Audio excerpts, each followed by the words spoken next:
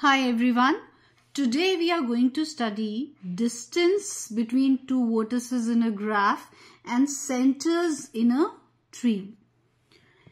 In a connected graph denoted by G, the distance which is denoted by D, Vi, Vj, where Vi and Vj represent any two random vertices and d vi comma vj represents the distance between those two vertices named as vi and vj.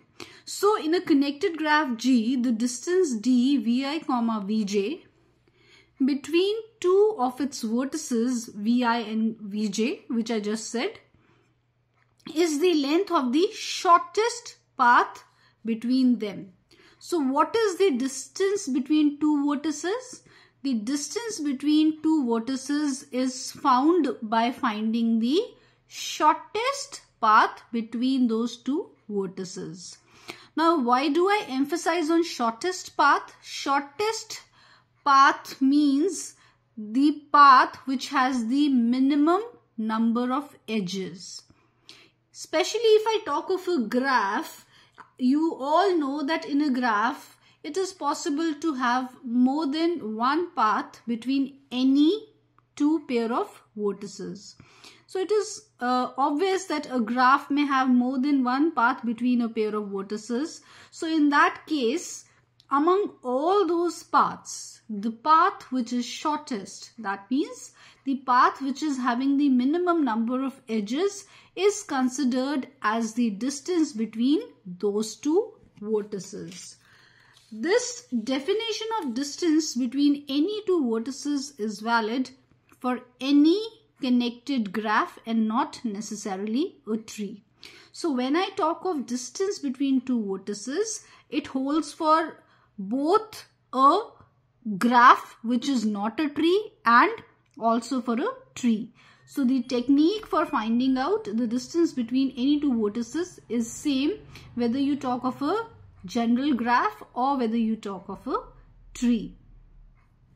But the only condition is that it should be a connected graph. When I say tree, it is quite obvious that a tree is a connected graph. So there is no question of that. But when we talk of a general graph, then we must emphasize that we find the distance among vertices only in a connected graph if I consider this particular graph, now let's look at this graph and if I want to find out the distance between the two vertices V1 and V2 of this graph, right? Right? So if I want to find the distance between vertices V1 and V2, so first of all, you must know that this is a graph and not a, this is a general graph and not a tree. Of course, tree is also a graph, but such a graph which does not have any circuits obviously which is connected graph and between any pair of vertices there does not exist more than one path. That is the condition of a tree. But in case of a graph, you know we can have more than one path between any pair of vertices, between any two pair of vertices. So when I talk of finding the distance between V1 and V2 and since you can see that this is not a tree, this is a general graph. So there is a possibility of having more than one path between the vertices V1 and V2. So to find out the shortest distance between V1 and V2. Why, why did I say shortest distance? Because the distance between any two pair of vertices is equals to the shortest distance between them. So to find out the distance between vertex V1 and V2, I will first of all have to find out all the available paths between V1 and V2. So if I consider the available paths between V1 and V2, then you can clearly see the first path is V, A, uh, edge A and edge E. Because to reach from vertex V1 till vertex V2, you have to traverse along edges A and E and then you can reach from vertex V1 to vertex V2. So this is one path. This dashed line is one such path. Then the other path is A, C and F. Along this dashed lines also you can reach from vertex V1 to vertex V2 which is via edges A, C and F. Then third path is via edges B and C and then finally E. So this is third path B, C and E. Then another path is via edges B and F. So if you start from V1, travel across edge B, then edge F and finally reach V2. Then the fifth path is via B, G and H. So from V1 like this you go, then G, then H and then you finally reach V2. So this is the fifth path. And finally the sixth and last path is B, G, I and K, right? This is also one path via the edges B, G, I and K. This is one path and then there is one more path which is via B, G, I and J. So, there are uh, in total seven available paths to reach from vertex V1 to V2. So since we are considering a graph and in a graph as we know there is a possibility of finding more than one path between any two pair of vertices. So first of all we will have to figure out all those available paths. Once we find all the available paths then among those paths we will find out the one with the shortest path. So here you can clearly see these are the paths that we have found in this particular graph from vertex V1 to V2. One path is having edge AE, then edge ACF, BCE, BF, BGH, BGIK, BGIJ. So these are all the available paths from vertex V1 to vertex V2 and that I just I have just shown you through the graph. Now our task is to find out the one with the shortest path. Shortest path means the one with the minimum number of edges. Rest in all the parts you can see either we have 3 edges or we have 4 edges. Like here BG, IK we have 4 edges. Again BG, IJ we have 4 edges. In other cases here we have ACF 3 edges, BCE 3 edges and BGH 3 edges. So as I said in uh, most of the parts we have either 4 edges or 3 edges. These are the only two parts. One is this and other is this. These are the only two paths where the number of edges is 2 which is lesser than all other available paths. So hence I can say that I have two shortest paths. One is AE and the other is BF. So since there are two shortest paths AE and BF each of length 2 hence the distance between vertex V1 and V2 is 2 the distance between vertex V1 and V2 is 2 which is the length of the shortest path between the vertex V1 and V2. So this is how you can find out the distance between any two vertices either in a graph or in a tree. Now in case of a tree as you know there is exactly one path between any two vertices because the condition itself of a tree is that there must not exist more than one path between any two pair of vertices right first of all there must exist a path between every pair of vertices in the graph and also there must not exist more than one path between any two pair of vertices. So in the case of tree the determination of distance is much easier because the task of finding out all the available paths is ruled out in the first step itself because you know that no more than one path will exist in a tree. So this headache of finding the available paths is ruled out in the first step itself. So hence finding out the distance between any two vertices in a tree is much easier as compared to a graph. Now if you consider this tree, here you can see we have four vertices E, B, A and C. Now to find out the distance between any two pair of vertices, it is very easy. There is only one available path and that will itself be the distance between those two vertices.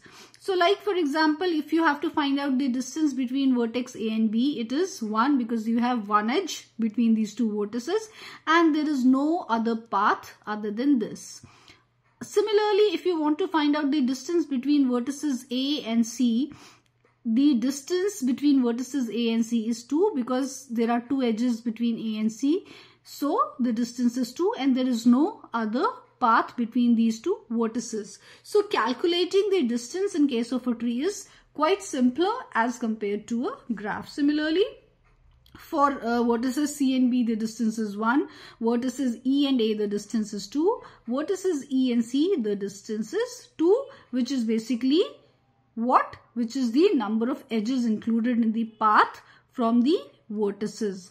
So, now number of edges from A to B 1 number of edges from A to C 2 number of edges from C to B 1 number of edges from E to A 2 number of edges from E to C 2 and this is how you calculate the distance.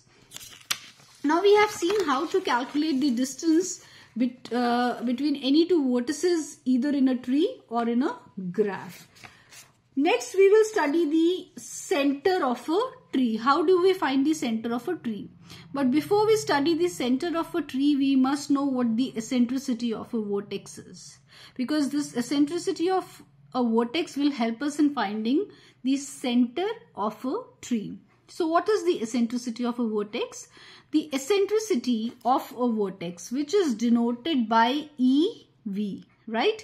E stands for eccentricity and V represents that particular vertex whose eccentricity we are finding.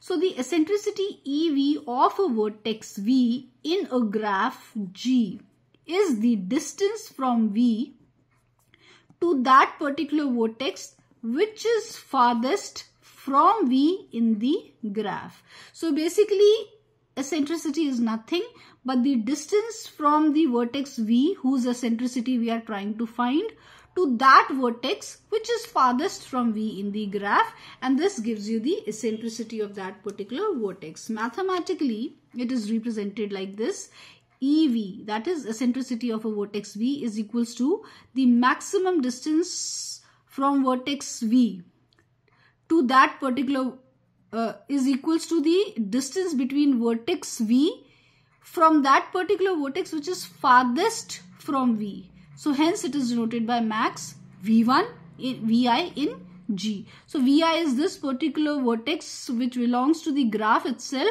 and is farthest from V. So hence maximum distance of vertex Vi from V from uh, maximum distance of vertex V from the vertex Vi of the graph, right? So in simple language, eccentricity is nothing but finding out the distance of that particular vertex from the vertex in question which is farthest from the vertex in question. So if V is the vertex in question that is if we are finding out the eccentricity of V then it can be find out by finding out the distance of that particular vertex which is farthest from V in the graph.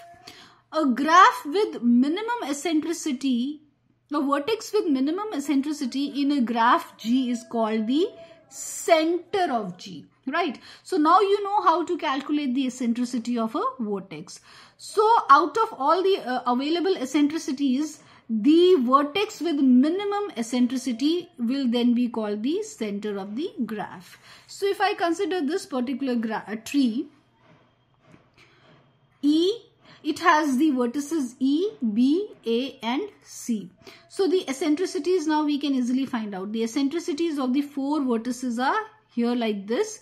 So the farthest vertex which is from the farthest distance from vertex A. If I have to find the eccentricity of vertex A, then I have to find the vertex which is farthest from A. So the vertex which is farthest from A is either E or C. In any case, the number of edges between E, A and E or A and C is 2. That means the eccentricity of A is 2.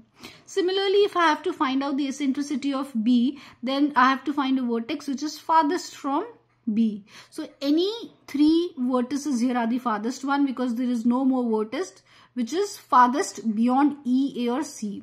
So the eccentricity of B would be either uh, with vertex E or with vertex A or with vertex C. So in any case the eccentricity would be 1 here because you have one edge either from B to A or from B to uh, either from B to E or from B to A or from B to C. So the eccentricity of B is 1. Similarly, the eccentricity of C, if you have to find out, then you have to find out the vertex which is farthest from C.